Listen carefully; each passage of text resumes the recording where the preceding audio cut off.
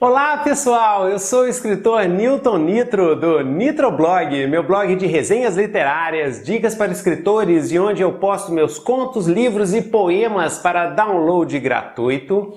Do Nitro Dungeon, meu blog de dicas de RPG e do Melhore Seu Inglês, o meu canal do YouTube minha conta no Instagram de dicas diárias de inglês. E começa agora mais um Nitro Dicas, o meu vlog de dicas e sugestões para escritores iniciantes. Lembrando sempre que a melhor maneira de aperfeiçoar a escrita é lendo muito, escrevendo muito e reescrevendo mais ainda. Hoje nós vamos falar sobre como introduzir o seu protagonista para os seus leitores, continuando a nossa série de arcos de personagem. Basicamente, um arco de personagem serve para colocar o protagonista em uma jornada, onde os perigos e obstáculos irão revelar ao seu leitor quem ele realmente é e como ele mudou do início ao fim dessa jornada. A primeira impressão que o protagonista passa para o leitor conta muito. Agora que já vimos como preparar o conflito interno do seu protagonista através da mentira que ele acredita, a coisa que ele deseja, a coisa que ele precisa e o seu uh, fantasma, estamos prontos para começar a escrever e introduzir o protagonista para os leitores. A estrutura de um arco de personagem começa com a cena de introdução. Essa cena mostra o que e como o seu é, como o seu protagonista age em seu mundo inicial, ou seja, no começo da jornada.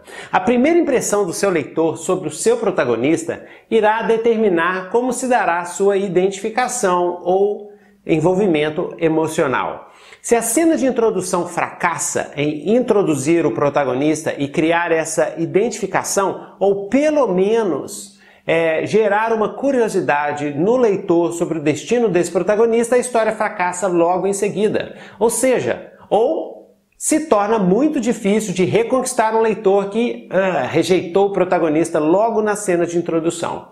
É claro, né? Eu sempre falo isso aqui, que escritores experientes que dominam completamente a arte da escrita e a criação de arcos de personagens são capazes de criar cenas de introdução com o propósito de que o leitor rejeite o protagonista para logo em seguida criar um efeito dramático e reverter essa disposição do leitor através de alguma revelação psicológica ou reviravolta de trama. É uma técnica mais avançada. Mas como as minhas dicas se voltam para os escritores iniciantes, recomendo trabalhar bem a cena de introdução para que ela sirva exatamente ao propósito de iniciar a identificação do leitor com o protagonista.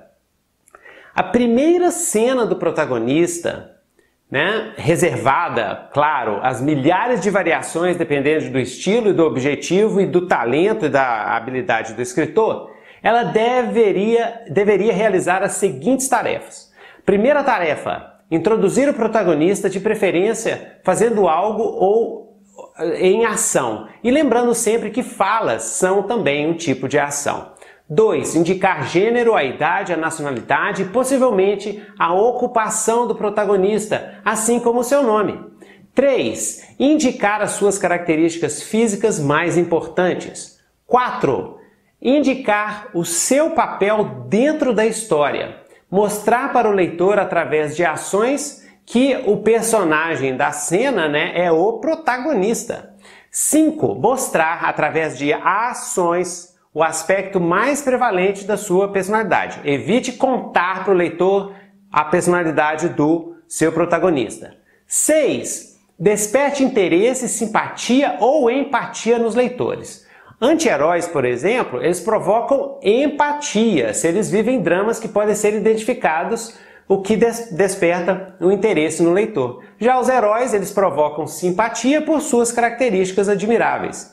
7. Mostrar qual é o objetivo do protagonista na cena. E 8. Indicar qual é o objetivo do protagonista na história. Você só indica, não precisa mostrar tudo não, só indica. 9. Mostrar ou dar pistas de qual é a mentira que o protagonista acredita no começo da história. Ou seja, qual é a sua visão de mundo que será mudada no final da história. 10. A primeira cena tem que ser relevante para a trama da narrativa, ou pelo menos indicar como serão os eventos futuros. Dessa forma, você deveria criar um evento inicial para a sua narrativa que consiga realizar os seguintes três elementos: 1. Um, tornar o protagonista interessante para os leitores. 2 introduzir ao mesmo tempo as qualidades do seu protagonista e as suas fraquezas ou indicar as suas fraquezas. 3. Construir a trama da narrativa. Evite eventos que não tenham ligação com a trama principal na primeira cena da sua história. O principal objetivo da primeira cena do protagonista é convencer os seus leitores a investirem emocionalmente no seu personagem principal, que é a espinha da sua narrativa. A cena inicial é, precisa indicar que, o que falta no, no personagem, ou seja, os problemas em sua vida causados pela mentira que ele acredita no começo da narrativa. Porém, não foque muito nos aspectos negativos do seu protagonista logo de cara. Primeiro, você precisa estabelecer uma identificação, uma ligação emocional entre o leitor e o seu protagonista antes de revelar suas maiores falhas, que irão, de certa forma, abalar a simpatia do leitor por ele. Seduza o leitor primeiro para depois mostrar o lado negro do seu protagonista.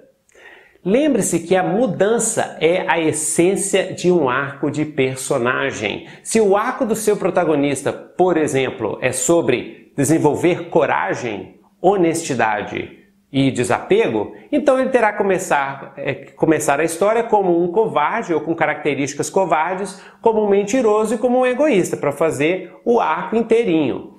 Porém, se você começar uma história com um personagem covarde, mentiroso e egoísta, logo de cara, revelando, se revelando desprezível, você corre o risco de não despertar o interesse do seu leitor. Aí vem o segredinho. O segredo é ir mostrando aos poucos essas características negativas ao longo da narrativa. E você usa outros truques. No começo, a cena poderia sugerir esses problemas, porém, na primeira cena você deve se esforçar para mostrar por que o seu protagonista é um personagem interessante. Coloque ele numa cena onde ele possa demonstrar que é especial e diferente dos demais e que merece ser o protagonista. Diferença positiva ou negativa?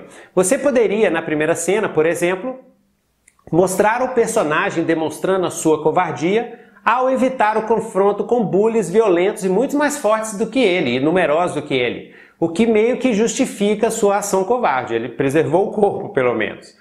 Ou o personagem poderia se demonstrar ser um mentiroso na primeira cena, mas usar as suas mentiras para enganar um malandro de rua ou um policial muito violento, ou demonstrando seu egoísmo em não dividir comida com ninguém para depois alimentar um ratinho ou um gatinho de estimação que tem em seu barraco. O importante é tornar o seu protagonista interessante, com características interessantes para os seus leitores, logo de cara na primeira impressão.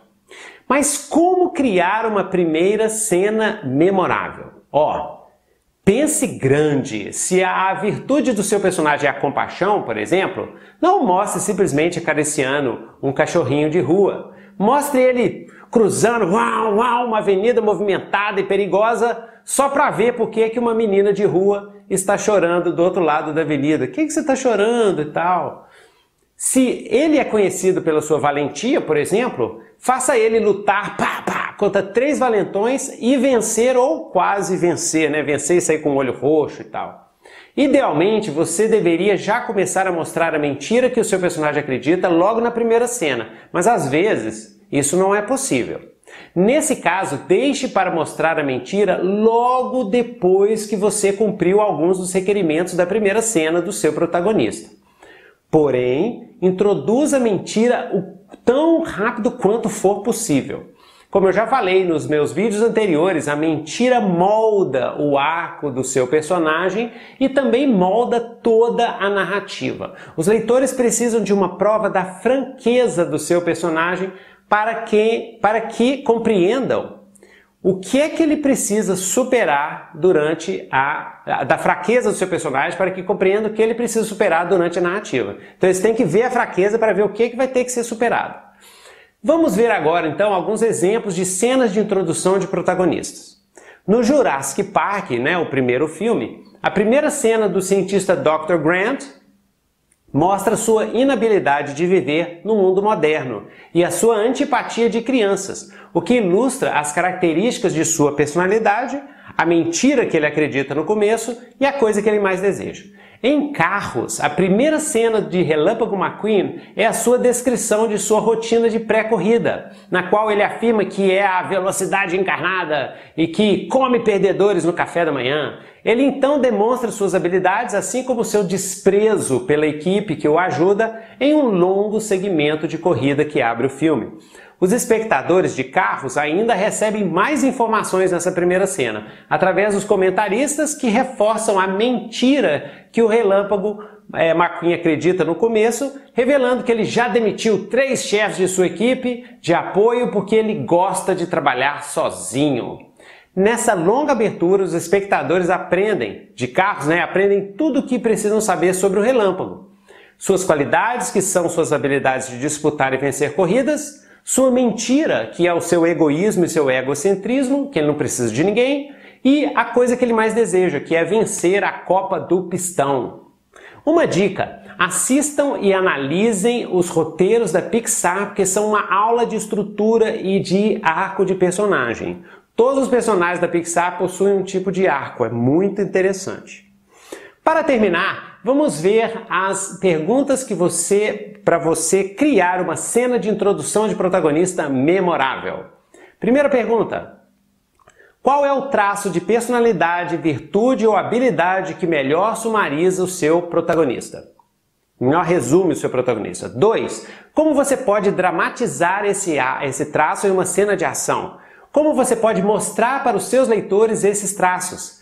3. Como você pode dramatizar esses traços ao mesmo tempo que introduz a trama? Dramatizar é criar uma cena ativa, tá, gente? Volta lá nos meus vídeos. 4. Como você pode mostrar que a crença do seu protagonista na mentira que ele acredita é, no começo do arco? Como é que você pode mostrar para o seu leitor a mentira no começo do arco? 5.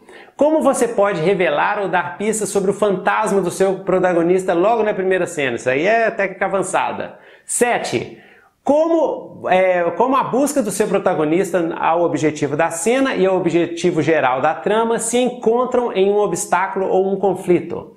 8. Como você pode passar os detalhes importantes do seu protagonista, como nome, idade, aparência física, de uma maneira rápida, não forçada ou amadora, sem que o leitor perceba e sem usar clichês, como de, por exemplo, ficar se olhando no espelho e se descrevendo.